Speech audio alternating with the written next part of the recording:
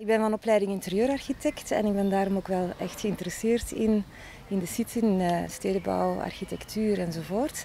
En natuurlijk ook heel benieuwd wat er met die site zou gaan gebeuren vlak bij mijn woonplaats.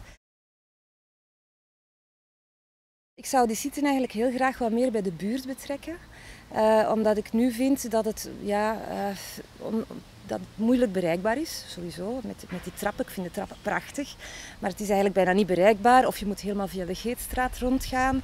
Uh, ik heb nu ook mijn zoontje die daar veel gaat spelen, hè, of gaat met, met vriendjes afspreekt. Maar eigenlijk is die site vrij afgelegen. Uh, soms gaan er ook uh, verhalen door ronde dat daar drugs en weet ik veel wat. Dus ja, dat maakt me toch een beetje ongerust en ik vind het ook jammer, want ik vind het een hele mooie site met een hele mooie weide bovenaan. Er zouden eigenlijk voor de buurt heel leuke dingen kunnen gebeuren.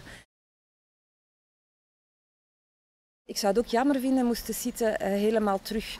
Ik vind dat die ooit overgerestaureerd geweest is. Ik spreek nu van dat dat een ruïne is, maar ik vind de ruïne, ik vond de ruïne vroeger veel mooier. Dus ik zou ook wel willen dat de Orleanstoren een vervolg krijgt in deze eeuw, in de 21ste eeuw. Dat het niet zo een nostalgische uh, plek wordt van alleen maar mensen die met heemkunde bezig zijn, maar dat het ook echt kan gebruikt worden door de buurt. Dat is mijn droom.